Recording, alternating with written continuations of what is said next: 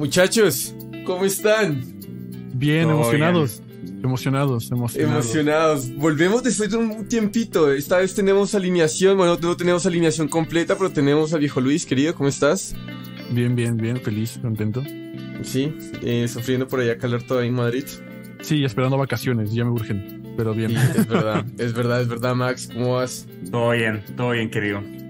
Me alegro, me alegro mucho. Discúlpenos allá afuera si hemos estado un poquito ausentes, hemos estado ocupados, el trabajo y, no hemos podido grabar tan a menudo como siempre lo hacemos.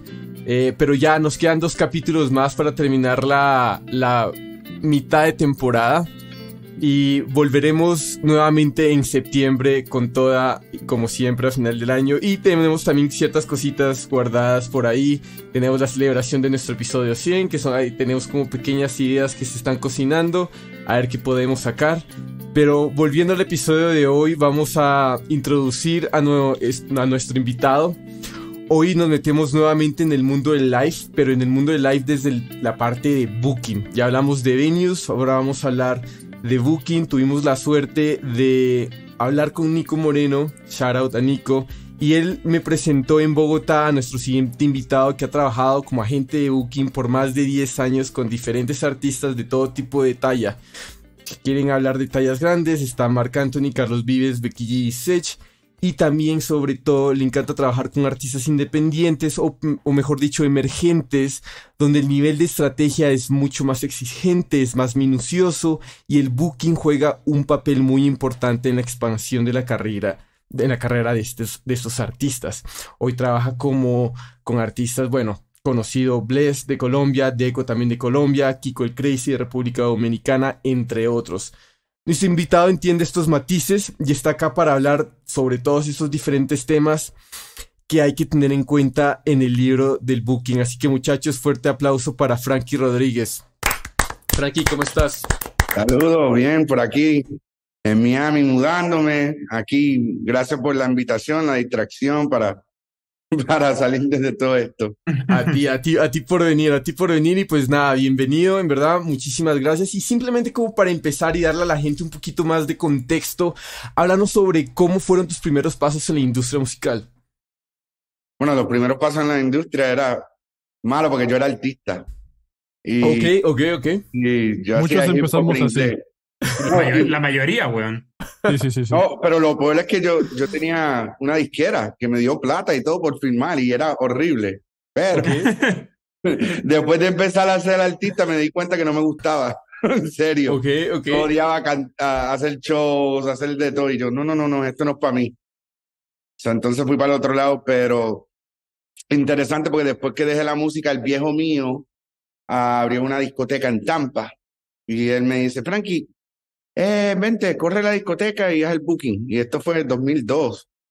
Y era una discoteca, es cuando el reggaetón como que estaba empezando a hacer Ok. mainstream. Pero ahí yo, yo buscaba a um, salseros, merengueros, bachateros. o allí cantó Aventura, Gilberto Santa Rosa, Víctor. Jay Rivera. Y en verdad esos fueron los primeros pasos, por decir, en, en el mundo latino. Pero buscando artistas ahí para la discoteca fue que conocí más gente en la industria. Y mi primer artista es un salsero que se llama Charlie Cruz, que un día él me dice, mira, ¿por qué no me manejas? Y yo, yo no sé nada de eso. Sí, pero tú sabes de música, sabes de negocio. Y bueno, pues, so, empecé manejando y, y manejaba a par de salseros al principio. Ah, un día me di cuenta que no me gustaba, no lo quería hacer más. Eh, dejé lo- los cuatro artistas que tenía y fui para la academia para ser policía. Me gradué y todo, pero nunca fui policía. O sea, no, le- te dan una, un examen de mente y no lo podía pasar, no sé por qué. Y después yo, gente me llamaba y yo, yo decía, cuando me llame Jay Rivera, yo regreso. Y así fue. Cuatro años después, Jay Rivera me llama un día y el primer paso allí, Jerry me llama y me dice, Frankie, ¿tú me puedes conseguir show en Orlando, Tampa y Miami? Yo, yo te puedo hacer una gira por Estados Unidos. ¿Estás seguro? Porque mi agente y mi manager dicen que ahora mismo no se puede. Claro, yo lo puedo hacer. Ah, pues móntalo. Y, bro, yo engancho y yo digo, ¿qué hago ahora? Yo no conozco a nadie. Y literalmente, bro, me metí en Google por ciudad y yo hacía Atlanta salsa, Chicago salsa, Nueva York salsa.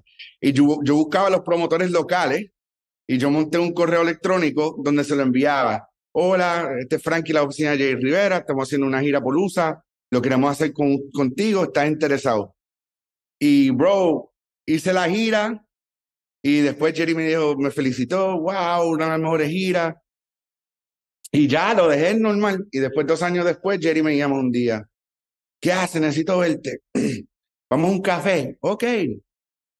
Vamos a un café y él me dice, Frankie, yo quiero que me manejes. Ahora, en este tiempo yo trabajaba en T-Mobile. O sea, yo, yo no estaba en música, no quería saber de música. Esto era el sidekick, ajá. Jay Rivera, o sea, una carrera increíble. Y yo, ¿tú estás seguro? Sí. Ok. Y bro, empecé tú, tú, tú. Y, y ya, ahí manejé a Jerry por cinco años. quería ir al otro lado. Trabajé con Mafio por un año, pero después yo dije, no, yo quiero enfocarme en booking, yo no quiero manejar a nadie. Y, y ahí yo entré en una empresa que se llama CMN, que es uno de los más grandes de USA. Y ahí éramos varios agentes, pero teníamos Mark Anthony, Bob Bunny, Nicky Jam, Daddy Yankee, Becky G, Sech, Alex, gente de zona. Estaba ahí por un tiempo, después vino la pandemia y me fui a trabajar para Walter Com, que Walter aprendí mucho de él. Y ahí trabajaba con Maluma, Carlos Vives, CNCO, Emilia, eh, Alex Rose. Um, esos eran los pasos y después conocí a Bless cuando, cuando, estaba empezando y me gustó tanto y, y el equipo y creí tanto en el proyecto que renuncié y abrí mi empresa. Y gracias a Dios ahora tengo mi empresa que está creciendo eh, ahora mismo tengo eh, Bless, Darel, Kiko y Crazy, eh, Toto y el Frío, Deco y otros artistas ahí más que estoy hablando. Pero así es. Tremendo. Y dentro de, digamos, con la experiencia que tuviste de management y tanto de Booking por mucho tiempo, al final que ya te decidiste ir por Booking, ¿cómo fue esa conversación que tú tuviste con, por ejemplo, para adquirir tu primer cliente ya una vez como independiente?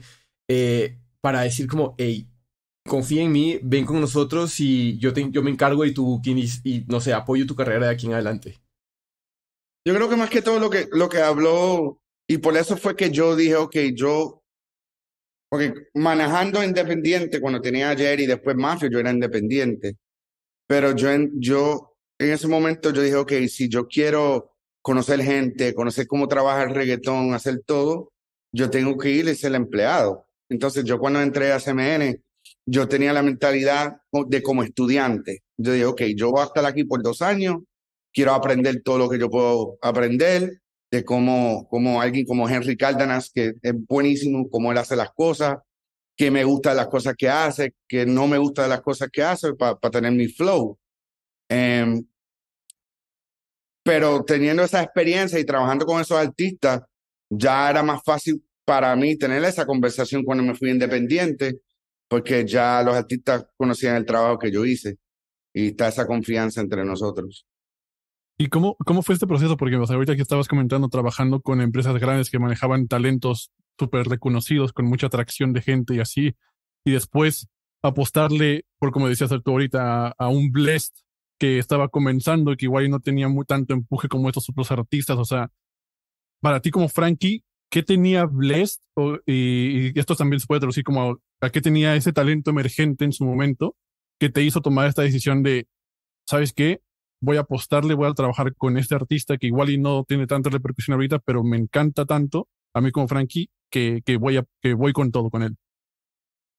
Es que yo, yo escucho la música bien diferente a todo el mundo. O, sea, para darte un ejemplo, o sea, el fan lo escucha de una manera, ay, me gusta el ritmo, me gusta esto, el productor lo escucha de una manera, ay, la letra. Yo escucho artistas y yo le asigno un valor. O sea, es decir, este es un artista que puede llegar a cobrar 50 mil dólares. Este es un artista que puede llegar a cobrar 100. No lo que está cobrando ahora, la proyección que yo le veo. Y la razón que, que me arriesgué con Bless es porque yo vi a Bless después de conocerlo, después de analizarlo, yo, dije, este va a ser una estrella un día. Este puede llegar a ese nivel de, de Balvin, de Maluma, de Karol, o sea, los compatriotas de, de, Colombia. Él puede llegar a ese nivel. Um, y no estaba, obviamente, y, y todavía estamos en proceso, pero él tiene todo posible para poder hacerlo. Definitivamente, y Frankie, me gusta mucho eso que dijiste recién de como que tú escucháis la música diferente. Creo que cada uno, o sea, de- dependiendo del rol de la industria, como que escucha diferente. Yo como productor, justamente, creo que también escucho la música diferente a otras personas. Entonces me gustaría como, pero yo, si me preguntaran, creo que sí podría aterrizar como qué es lo que escucho o en qué me fijo. Entonces me gustaría como, en tu visión, ¿qué es eso que te hace decir un Bless puede llegar a cobrar 50 mil, puede cobrar 100 mil? ¿Qué, qué, qué es ese, fa- ese factor X? O si tuvieras que aterrizarlo quizás, que te hace pensar o que te hace sentir como que este personaje o este proyecto sí puede ser eh, eh, súper exitoso. So- so- son varias cosas, no solamente música. O sea, obviamente hay diferentes niveles. Ujú. O sea, yo como agente, yo siempre digo, ¿cuál es mi trabajo? Yo vendo aire, porque ¿cuál es la diferencia entre nosotros cuatro cantando? Si todos estamos cantando, ¿cómo que uno cobra más que el otro? Que, ¿entiendes? Um, no te voy a decir el artista, pero tuve esta conversación con un artista mío unos años atrás. Ese momento él estaba cobrando 15, 20 mil dólares. Y en ese tiempo no había muchos cobrando más de 100 mil. Habían que lo podías contar en las dos manos. Y yo le digo a él, no, tú eres bueno. Yo veo que tú puedes llegar a 70, 75 mil dólares un día. Se ofendió. Y me dice, pero Frankie, ¿por qué no puedo llegar a 100 mil dólares? Y yo, ok, vamos a analizar todos los artistas que están sobre 100 mil en este momento. Bad Bunny, Daddy Yankee, Nicky Jam, Ozuna, Balvin. Eh, ¿qué, ¿Qué tienen ellos que tú no tienes? Y él me dice, palos. No, no es la música. Son marcas. Ellos te venden tenis, te venden gorras, te venden camisas. Ellos no le están pagando esa- ese dinero para que canten. Están pagando ese dinero porque están haciendo películas, están haciendo diferentes cosas y la gente quiere estar en la presencia de un superestrella. So ya a ese punto ya no es música.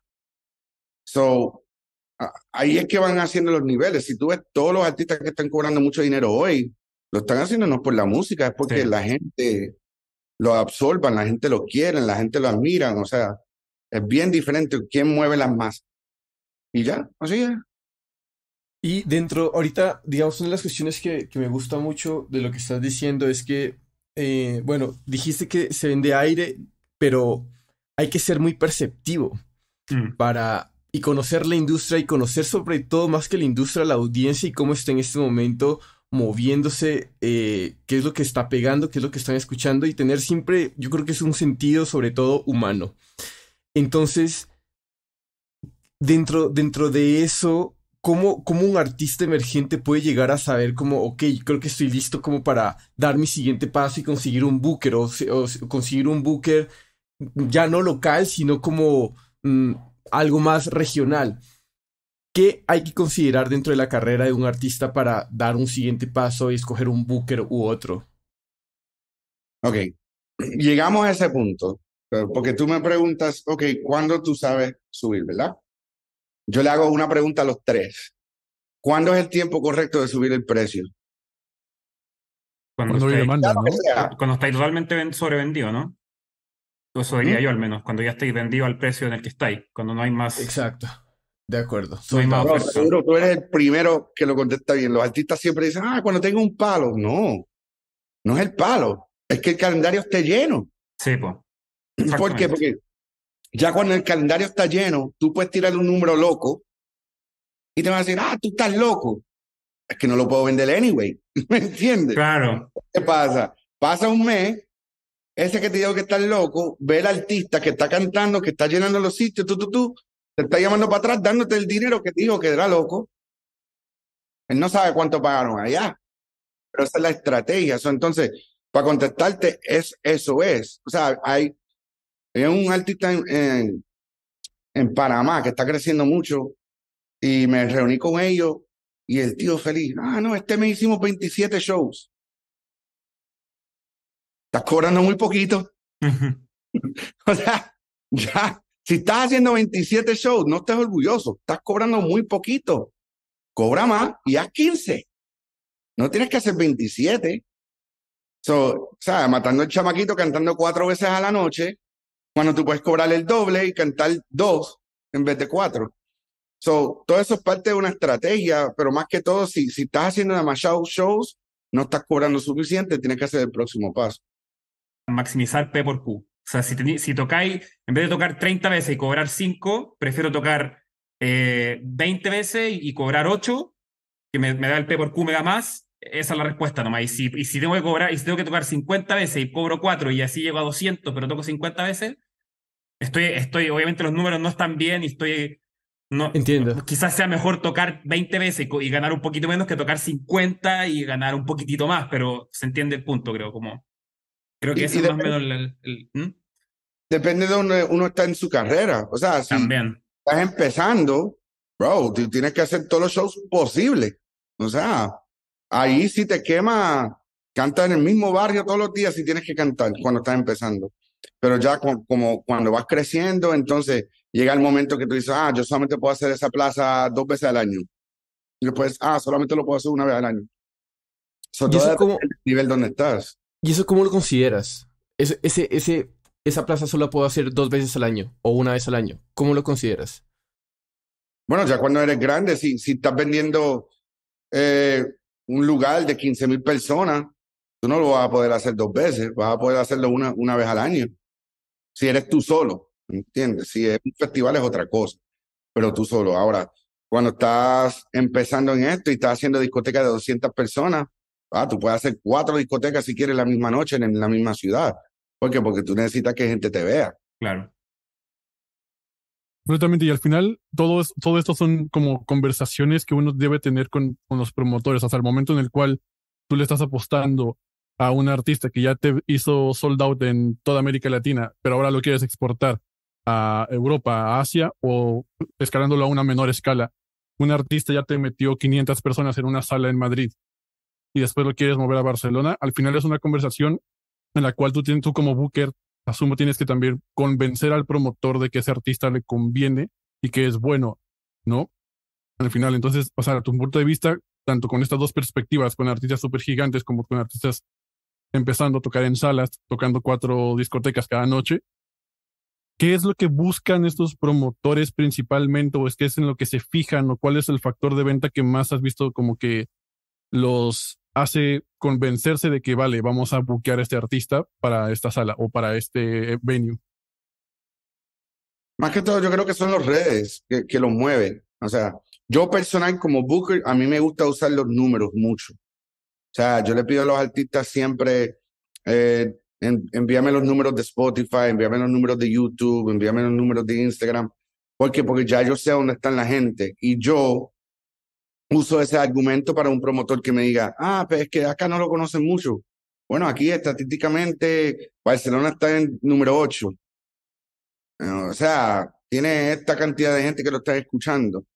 Y, y tal seguro que lo pongamos en el, en el, lugar correcto, pero hay veces que ¿sabes? Como yo he aquí en años, yo tengo buenas relaciones con, con, con lugares que ellos dicen, ok, Frankie, voy a ti. Y lo hacen y les, se sorprenden.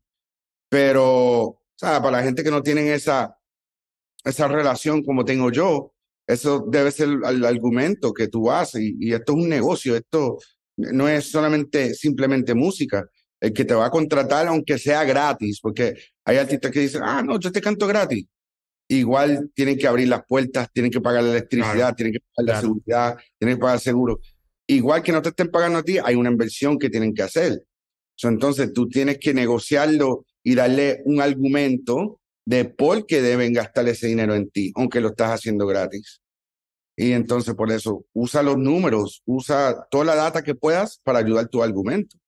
No solamente, ah, soy lindo, tengo este tema que está bueno, dame chance. No, tengo esta cantidad de gente que me escuchan, tengo esta cantidad de gente que te puedo traer, yo voy a hacer este plan yo mismo de marketing en redes, voy a hacer lo que tenga que hacer. Y, eso para los que están empezando que no tienen booking, que no tienen nada de eso. Y también como que de alguna u otra manera se siente que el trabajo, a pesar de que no parezca así, desde que hemos tenido un par de conversaciones, Frankie, y ahorita escuchándote, se siente que el trabajo de booking es, uno, tiene una parte que tú consideras que es matemática y tiene una parte también de un alto eh, atención al detalle para, para acercar a tu artista al, al venue más adecuado, a trabajar con el promotor adecuado para llegar al público que tiene ese artista en esa específica ciudad. Me acuerdo que me lo mencionaste. ¿Puedes explayarte un poquito más sobre esto? Sí, y lo empiezo así. O, sea, booking es fundamental para el crecimiento de un artista. Fundamental. Y, y yo lo digo en el sentido porque había, ahora como que está cambiando la percepción porque antes era, ah, no, mi primo puede vender shows. Oh, no, mi madre puede vender shows. Y no veían book. Y las disqueras eran los primeros que decían, es que tú quieras. Ahora las disqueras están buscando gente como yo y, y, otros eh, compañeros míos, porque, porque es fundamental. Tú pones un artista en un lugar bueno, con público bueno, los números streaming suben. Sí. Ya. Y ahí ahora sí le interesa a la disquera. Pero lo que estábamos hablando era saber cuándo brincar, porque al principio, obvio, tú tienes que cantar donde sea, en la esquina, cualquier sitio. Pero después llega el momento en ese crecimiento que tienes que estar seguro dónde poner el artista y dónde coger el público. Ah, porque tú no puedes poner un ACDC cover band en una discoteca de hip hop en Nueva York. Claro. No es el público, no, no funciona. entonces, parte del trabajo mío no solamente vender shows, es saber con qué promotor meterme, que es un promotor que tiene experiencia, que yo sé que va a hacer buen trabajo, que no va a dejar lucir el artista mal, que es un venue adecuado, eh, que el, el, público de ese artista va, va, va a llegar allí. Eh, porque lo peor que uno quiere hacer es ir a una discoteca que esté un 50% lleno, porque después no solamente se ve mal el artista, pero en cuestión de negocio, los promotores, los otros promotores van a decir, ah, no, pero tú quieres esta cantidad. Si no puedes llenar discotecas. Y eso es culpa del booking, que lo puso en el, en el lugar incorrecto. Tienes que entender quién es tu artista, qué público te puedes jalar en este momento. Y si son 500 personas, busca un sitio de 500 personas. Si es mil personas, busca un sitio de mil personas. Pero si, si es 500 personas y tú quieres ponerle una discoteca de 1500, Chao. vacío. Sí, sobre todo es como cuidar la imagen, ¿no? Y también me acuerdo que me, eh, me dijiste y va atado con la pregunta que nos hiciste, que es como siempre aguanta dejar gente afuera, porque eso aumenta la euforia, eso hace que la gente más quiera ir para la próxima vez que se anuncie otra nueva fecha. Por ejemplo, o sea, con, con Bless, eso fue la, la estrategia al principio, la primera vez que salió de Colombia, que fuimos pausa, yo a propósito busqué discotecas pequeñas colombianas. Yo literal fui a Google. Google es mi mejor amigo, para decir la verdad. Y yo fui a Google y yo puse las ciudades con más colombianos en USA. Eh, New Jersey, eh, New Jersey es un estado, pero era, ¿sabes? Uh, New Jersey, Nueva York, Boston, eh, Orlando, Miami. Y yo dije, ok, yo necesito encontrar lugares de 300, 500 personas. ¿Por qué? Porque en ese momento todo el mundo en Medellín especialmente Medellín, subían los videos con Bless gritando las canciones, cantando las canciones. Y yo dije, ok, yo tengo que repetir eso. Eso es lo que yo estoy buscando. Y yo me acuerdo, había un promotor en New Jersey que quería hacerlo en un lugar de mil personas. Y él me dice, Frankie, tranquilo, yo sé que lo puede llenar, pero si él no lo puede llenar, yo regalo tickets. Y yo le digo, es que no entiendes mi visión. Si tú regalas tickets, va a, ser gente que no saben quién es, y no van la imagen, los videos que me hace falta en este momento. No, quiero sitios de 300, 500 personas. Y así mismo fue, fuimos para allá y Y en Colombia, ¿qué hablaron? Wow, presta internacional. ¿Por qué? Porque la misma euforia que estaba pasando acá pasa allá. Y eso es algo que yo sé que no lo habíamos hablado antes, pero para mí es súper importante este punto porque yo se lo digo a la gente. La gente siempre se quieren pegar y dicen, ah, no, me tengo que pegar en USA oh no, me tengo que pegar eh, en México. Pégate en tu país. Porque gente de tu país están alrededor de todo el mundo. ¿Sabes cuántos venezolanos viven en Panamá, en México, en Madrid, en Barcelona? Tú eres venezolano, bro, pégate en Venezuela. Porque aunque alguien se fue de Venezuela a Panamá, ellos están dándose cuenta qué está pasando en Venezuela. Claro, la familia, el primo. Le dice, mira lo que está pasando acá. Ajá, pasa ahí. Exacto.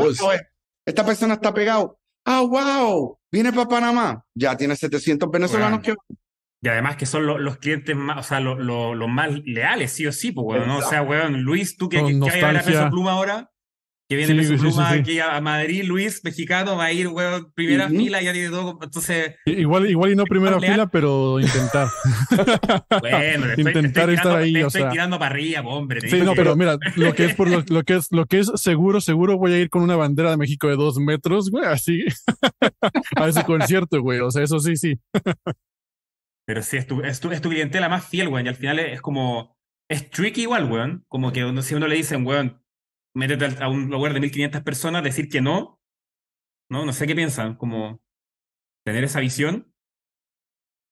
Y, y yo creo que esa, esa visión probablemente la tiene, eh, la, la debe tener el Booker, ¿no? Eh, y, y probablemente decir como, y tener la capacidad de decir, porque es muy fácil que probablemente dejarse engatusar, por ejemplo, Exacto. o no engatusar, sino como convencer Embobar. por la persona que dice como, hey, eh, estamos listos para los mil, pero tener la capacidad de decir como, ¿sabes qué? No, porque quiero esto, lo uno y lo otro, y vamos a hacer tal, vamos a hacer tal número que es más bajito, pero vamos a generar esto, que genera como más, reco- más recompensa en un futuro. Y ojo que teníamos, de hecho, una pregunta pensada que era justamente eso, como qué es mejor, un show de 100 entradas eh, como vendidas genuinamente, lo teníamos, la teníamos preparada la pregunta, o un show de mil personas donde regalan entradas.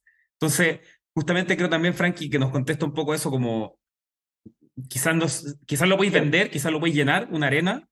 depende de cómo va a reaccionar el, el público. O sea, no me acuerdo, años atrás tenía dos artistas emergentes, uno que estaba más pegado que el otro. Y esto fue en México, en Veracruz. Y el promotor me dice, mira, ¿cuánto tú quieres por este? Y yo, 70 mil dólares más gasto. Pero me tienes que dar 20 mil dólares para este otro artista que estaba creciendo. Ah, no, no, no, yo solamente quiero el primero. Ah, ok, son 90. ¿Cómo que 90? Tú me dijiste 70. Que tú me vas a pagar 90 mil dólares. Si quieres que el otro vaya, va. Si no, no. Y bro, ese fue el show que le cambió todo al otro artista. Porque era un evento gratis, 90 mil personas. Y con ese que él no quería, el público cantando todas las canciones. Entonces yo usé ese video con los otros promotores. Ellos no sabían que, que, era, que el público era gratis. Claro. El otro promotor solamente vio al chamaco que estaba creciendo, cantando enfrente de toda esta gente y la gente cantándole para atrás. So, por eso que te digo, o sea, depende de cómo va a reaccionar el público. Si 100 personas te van a gritar, pero mil no, si mil se van a parar ahí mirándote, Claro. al de 100. Pero si el de mil regalado te va a cantar para atrás, ese video te sirve.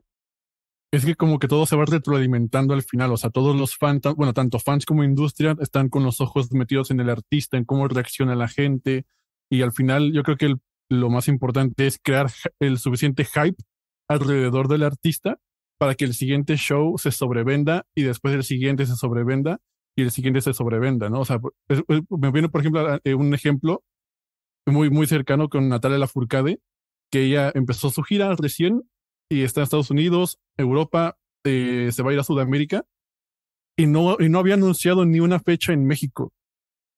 Y es como, y todos, o sea, todos en México así como, o sea, no es posible que Natalia Lafourcade no esté anunciando ni una fecha este año en México cuando ya se hizo una gira internacional.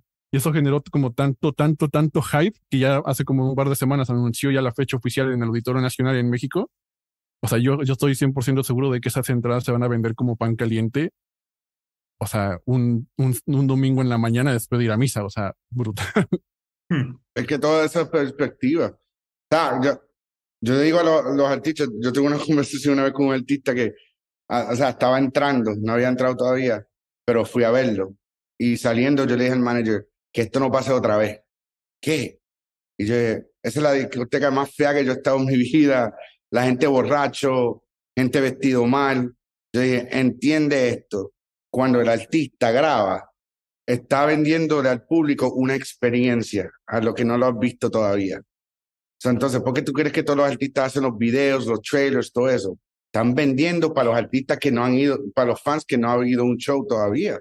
Tú estás diciendo, si tú vas a este show, te vas a encontrar con gente así, vas a, vas a estar cantando las canciones como esta gente. So, los videos que suben es bien importante. Si lo que están subiendo están parados al frente de mil personas y nadie le está cantando, le estás diciendo a los fans del próximo que nadie, nadie va a cantar en los shows.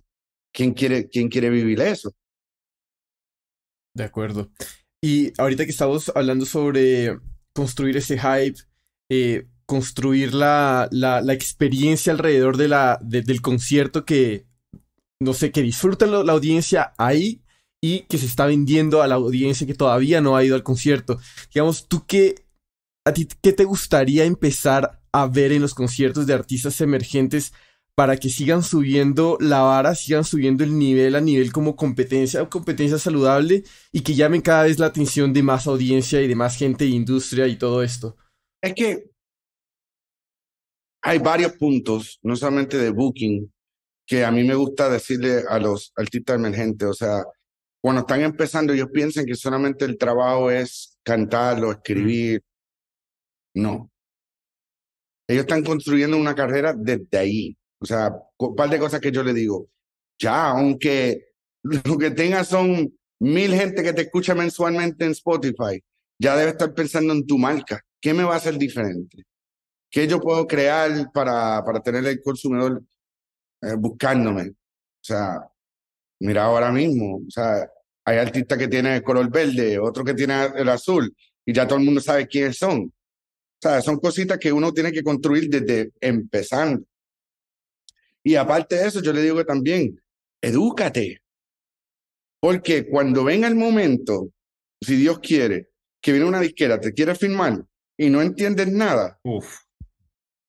Me pasó a mí cuando era artista que no entendía, firmé un contrato y el manager mío, yo no sabía que me dieron 120 mil dólares para firmar. Me lo robó. Pero es mi culpa porque yo no me eduqué. Yo pensé, ah, no, yo canto y ya. So, por eso que yo le digo, es súper importante cuando estés empezando, edúcate. Todo está en Google. Busca contratos de música, cómo funciona el publishing, cómo son los, los splits, eh, cómo, cómo son los shows, qué gastos hay. Edúcate, eso es parte del proceso, no solamente cantar. Y siguiendo esa línea de conversación dentro de los gastos que, suceden en, un evento en vivo, en un show, ¿Cómo, ¿Cómo tú armas la estrategia de precios al momento de negociar con un promotor o con un venue eh, para obtener el precio neto por show? Bueno, es que eso, eso da parte eh, y eso es completo. Eh, dependiendo del artista, yo como booker necesito saber cuánta gente viaja y todo. ¿Por qué? Porque cada artista tiene un precio en total para el promotor. O sea, no es el caché.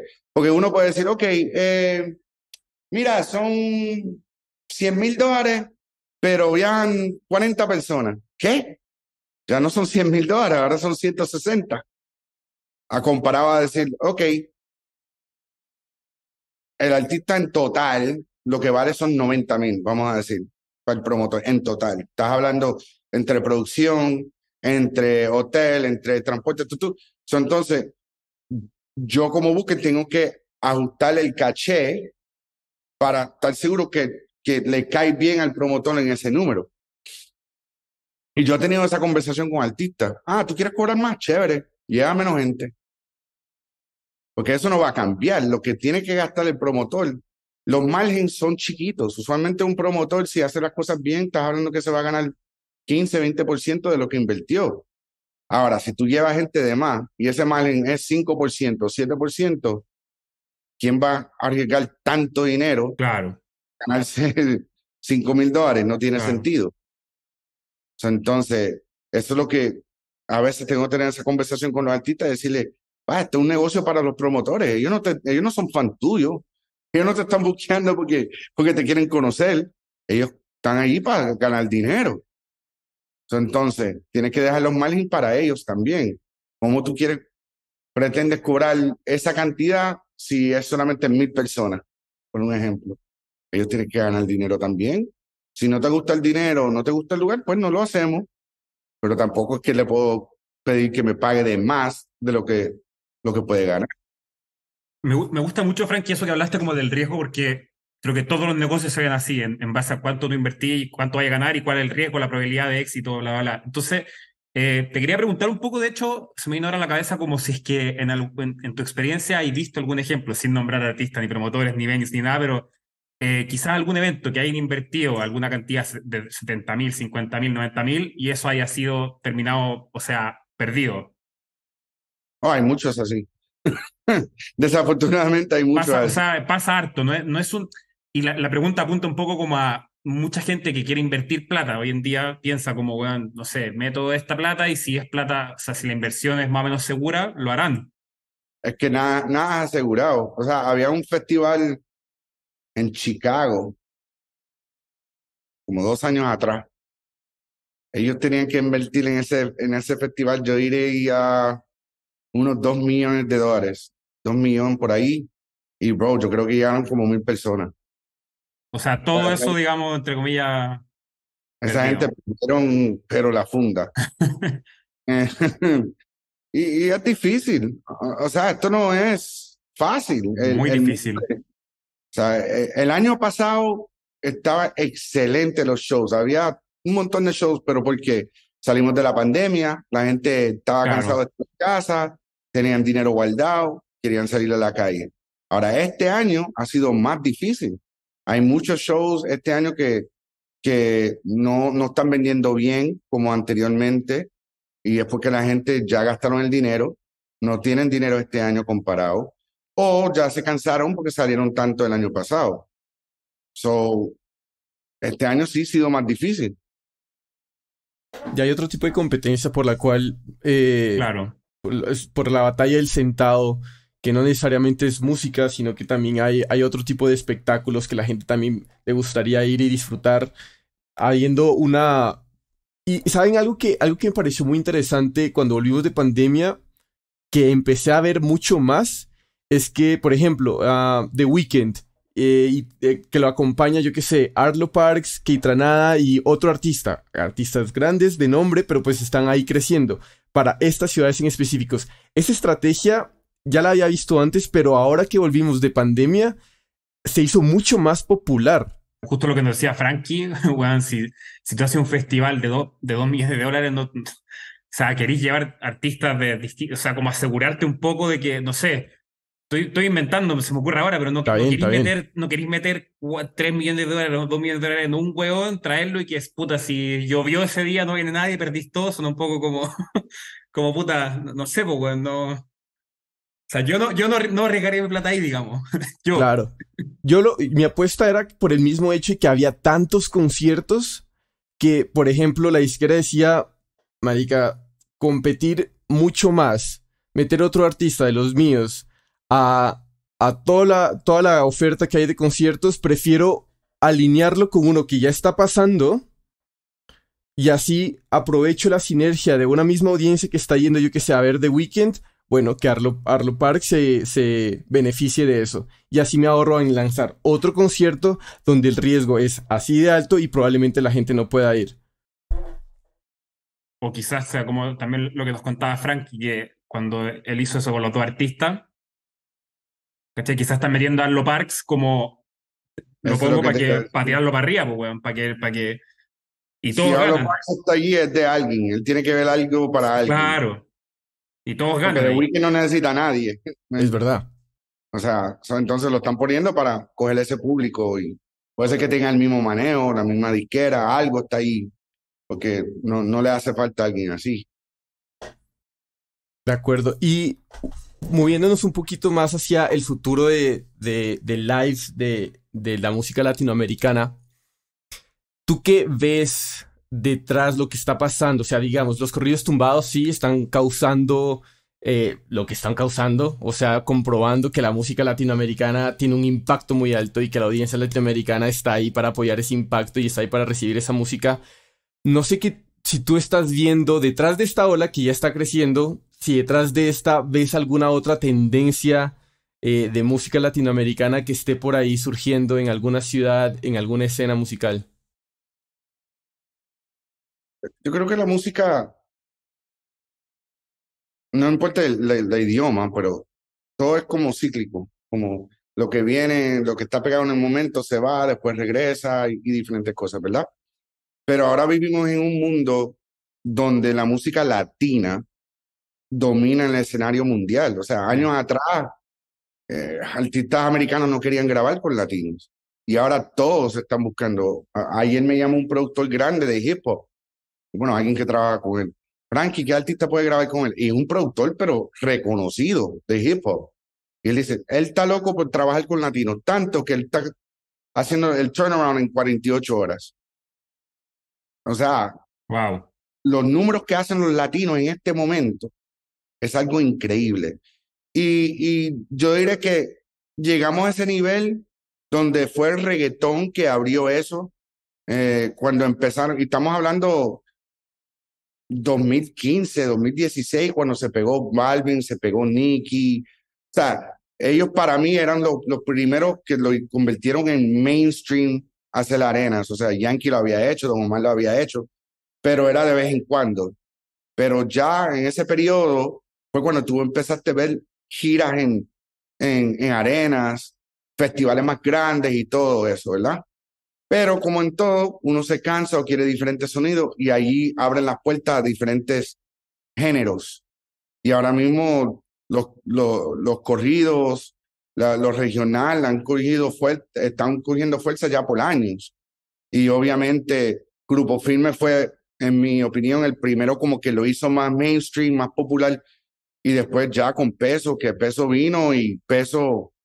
Eh, antes ese, ese, tipo de música tú eh, veías gente, ¿sabes? Con, con sombrero, con, sombrero, con su y todo eso. Y viene este chamaquito que se parece reggaetonero, con una sonrisa y la persona que tiene peso y buena música. Y peso en tarima, es como persona buena gente, pero en tarima él, él hace un show bien diferente. Y entonces, como el show es diferente, como él es diferente, como se viste diferente, la música es diferente, ya los puertorriqueños lo están escuchando, los colombianos, los ecuatorianos, ya es algo global ese sonido. So, por eso es que Corridos tiene su mejor momento ahora mismo y lo están aprovechando y se lo merecen. Ya estás viendo muchos conciertos en, en lugares grandes con esos artistas y va a seguir creciendo. Um, pero cada país tiene su movimiento también. O sea, eh, España, ahora mismo que ustedes están allá, hay un montón de artistas de España que están haciendo su movimiento. Después de Rosalía, ah, está Quevedo, está Saico ahora que está haciendo ruido. O sea, tiene su movimiento. Y ya eso poco a poco va yendo global. Y yo he dicho esto, para mí la razón que lo, lo, los artistas de Puerto Rico han sido tan exitosos por tanto tiempo es porque el mundo aprendió el lenguaje del puertorriqueño. Ya saben lo que es cabrón, puñeta, o sea, eso se entiende, ¿no? Ay, qué, ch qué chévere. Entonces, Colombia ha empezado ese movimiento también, por eso que Fer y Carol y todos ellos, mol, o sea, qué chimba, cositas así que, que se ha ido global. Eh, porque quizás en Perú no, no ha habido un artista internacional, porque hay muchas palabras que dicen en Perú que afuera de Perú no lo entienden. Entonces, si hay un artista de un país que no tiene un lenguaje global y empiezan a usar palabras que dicen los, los puertorriqueños, los colombianos, porque es lo que está pegado, no se siente auténtico, se siente como una copia. Sí. Y por eso que no se lo dan. So, entonces, ya cuando estos países empiezan a, a tener su lenguaje, que sea una cultura global, y no tiene que salir de la música. O sea, en, España, ustedes viven allá, sabe que dicen muchas cosas, muchas frases diferentes. Pero ¿qué pasa con Netflix? ¿Cuántas series de España son número uno, número dos global? O sea, entonces, el argentino que está en Argentina está viendo eh, La Casa de Papel y está entendiendo lo que están diciendo, fili filipollas y todo eso. Ahora se están convirtiendo en, en lenguaje global porque ya la gente lo ven en películas, en series y todo eso. So, ahora puede venir un artista de España y decir Filipolla en una canción y la gente, hey, porque lo entienden. Claro. Por eso es que viene el movimiento de España, es por la serie en Netflix. Sí, sí, a mí me causa demasiada intriga justamente esto que comentas, porque, o sea, digo, como mexicano yo estoy más que acostumbrado a todo esto que está haciendo con Peso Pluma, porque, o sea, literal los mexicanos mamamos este tipo de música. Igual ahorita con la fusión ya es como un poquito diferente, pero al final estamos súper ahí metidos. Y me causa mucha intriga ver por primera vez el fenómeno de un artista como Peso tocando en Madrid y en Barcelona este año en noviembre. Porque es como, o sea, yo soy, o sea, yo sé cómo se consume la música mexicana en vivo, porque soy mexicano. Claro. Y a mi punto de vista es muy diferente cómo se consume a como aquí en España están acostumbrados a ver un show de Quevedo, un show de Duki, un show de Nicky Nicole, un show de Fade. O sea, que es un tipo de show que ya están como, o sea, ya es más que digerido, como dices tú, ya tienen el, el contexto, la, la, la jerga, el cómo se mueven y todo eso. Y entonces me causa demasiada intriga ver qué va a pasar cuando llegue Peso Pluma y diga, a huevo viejón, sobres culero. ¿no? Pues yo quiero ver la, la- la reacción de los españoles, güey, porque genuinamente me causa demasiado curiosidad el ver cómo Peso adapta lo que está sucediendo con él para poder potenciarlo a, una, a un nivel internacional y extrapolarlo a mercados que pues ningún otro mexicano había podido llegar, ¿no? Siendo eh, como de ese tipo de música sobre todo. No, y, y- y- esta intracultura es algo nuevo. Si, Mm. si lo analizamos en lo grande, o sea, yo diré, yo he estado viajando el mundo ahora sin parar, ¿qué? 10 años. Y yo te puedo decir que viendo, a- a- a- yo he ido a 46 países. Y tú ves la diferencia desde cuando yo fui a Medellín, por ejemplo, ocho años atrás la primera vez, hasta ahora. Ocho años atrás solamente veías colombianos. Ahora tú vas allá y tú ves venezolanos, tú ves dominicanos, puertorriqueños, americanos. Y es lo mismo en, todo en, en todas las ciudades grandes en, en el mundo, en Madrid. Mira, chileno, Sí. mexicano. Tú no veías eso años atrás. So, entonces, todo eso tiene un impacto en la música, cómo lo consumimos. Igual, como te digo, Netflix ha sido súper importante sin la gente darse cuenta. Mm. Pero hay mucha gente que dicen, ok, yo amo mi país, pero me voy. Y tú, como mexicano, tú estás pendiente de lo que está pegado en México. Oh, sí, me sí, tú estás y ya no eres mexicano, ¿entiendes? Pero estás aprendiendo la cultura de los españoles y ya eso va rebotando. Por eso es que, que tú ves tantos sonidos diferentes funcionando, que ves tantos artistas saliendo de diferentes países, pues ya, ya lo están aceptando globalmente. Y eso me la encanta. lucha, la lucha más grande que tengo es convencer a- aquí a Max de Chile que, que empiece a consumir música mexicana. Es difícil, pues, weón. Es difícil. Y creo, y, creo, y creo que represento bien a los chilenos, no sé, pero creo que represento bien a los chilenos. O sea, no, no sé si Peso Pluma, Peso Pluma siendo una estrella mundial, si eso no cabe duda, pero no sé si en Chile Peso Pluma será todavía muy grande. Estaría bueno saberlo. Voy a, voy a ver, ahora ciudad número uno, Santiago. Claro, no. No, en Chile estamos, consumimos muchos chilenos y argentinos también, y bueno, y Bad Bunny ni hablar. O sea, todos los que están pegados grandes ni hablar. Colombianos también, todos Fade, weón. Fade, yo creo que Fade es número uno en Chile. Marica, cuarta ciudad, Santiago de Chile. ¿En serio? Búscalo, tú puedes buscar, espérate. en Sí, lo- Spotify. en Spotify lo, lo A acabo de o buscar. sea, o sea, ¿Dónde Chile, o sea, Chile, artists? Los top Es- artistas por país. sí, güey, o sea, Peso está como en top 10 en la mayoría, si no es que en todos los países de América Latina, güey. Max, no representas a tu país, No, no. Weón, la cagó y sale, weón, sale México, Guadalajara, Monterrey, Santiago y otras, y Zapopan. Es, el- es la Ah, primera ciudad fuera de México, weón. Y la única en el top 5, porque después sigue Zapopan. A ver, weón, top 50. Zapopan. Zapopan. Zapopan. Weekly top artists. Ahí está, Max, ya, es hora de que te pongas tu Pero sombrero y empiezas mira, a cantar conmigo. Ah, no, está la de, ok, la de ella baila sola de peso. No, sí hay, en el top 50. Hay un No, par. chao, güey. Max. Güey, güey. Acepta, Estás, acepta la estás- realidad. estás- estás peleando contra lo inevitable, güey. Que yo te vengo diciendo esto de hace tres años, güey. O Sí, sea, eso sí es estás luchando contra lo inevitable, güey. Querido, los números ya están hablando solos. Bueno, retiro lo dicho. No, no, no está. Es que estoy buscando en los charts. Tú sabes que tú puedes hacer eso, ¿verdad? Por Ah, país. Claro, Sí. claro, claro. Weekly. Pero eso no está ni en el top 40 en De Chile. Chile. Mm, Ah. Interesante, buena. Ah, Déjame buscarlo a ver si lo encuentro. Chart 50. No, bro, no, no está en el- ni en el top 100. de Chile. Gracias, Frankie, me salvaste. Me salvaste. me salvaste. ¿Viste, No hay Bueno, pedo, no hay pedo. Pero eh, es que bueno, no sé en qué cambia los que está viendo, los que está viendo Frankie, los que estoy, yo estoy en las de Spotify y dice Top 50 Chile y ahí está, tiene tres canciones, de hecho. No, no, tú estás viendo las canciones, pero eso, en sí. Spotify ellos tienen Weekly Top Artists Ah, buena. por semana, es artista en total, Ah, buena. canciones. Es verdad, es verdad, eh, así es. Entonces, bueno, sí. Eso te- es lo que te- manda, así que tenía razón yo. Se pueden ir a la remi... No, me Ah, no, mala mía, mala mía, mala mía. Eso está número 16 en Chile. Toma, güey, no mames. cabrón. Yo lo vi. Segundos Max- antes de que Max- Bueno, hagan- 16, 16 tampoco es... weón. No, tampoco es mucho, güey. No mames. ¿qué 16, quieres? bueno, entre 16 y 44 tampoco. Aquí vamos a, no sé, weón. Mira, güey, me conformo, me conformo con el hecho de que a mí ya me dices güey y no weón. O sea, ya. Sí. Eso sí. me dices pinche güey. No, pero. Max es la forma, yo creo que es la forma de, de- de fraternizar con la gente, porque a mí me dice como yo le digo a él. Max siempre te dice como tú le dices a él. No, pero también luego te, te- a ti te dice pinche Jorge, cosas así. Entonces ya No, pero a mí eso- me dice ala, a mí me dice querido, pero bueno, es discusión, pero Lo voy a enviar para que lo puedas poner en tu Instagram. Lo voy, a, lo voy a compartir. Y taguearnos a todos y lo compartimos, güey. eso, por favor, Frankie.